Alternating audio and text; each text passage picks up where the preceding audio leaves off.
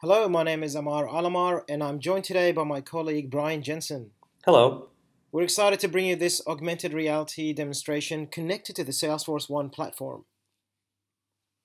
You're looking through the eyes of a customer wearing Meta's augmented reality glasses.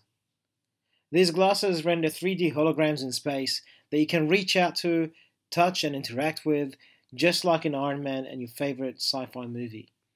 Check out spaceglasses.com for more information on this exciting device. In today's demonstration, the customer has walked into a car dealership and is provided with the glasses to wear.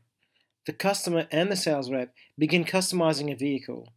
Meanwhile, Salesforce tracks all these customizations in real time and provides a custom quote taking into account the sales history, customer history, as well as any loyalty pro programs and points. This experience can actually take place anywhere, such as the customer's own home, or even entirely remotely with the customer and sales rep collaborating from their own premises.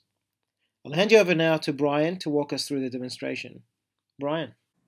Thank you, Ammar. Uh, I wanted to uh, first introduce you guys to the environment to which this is all created.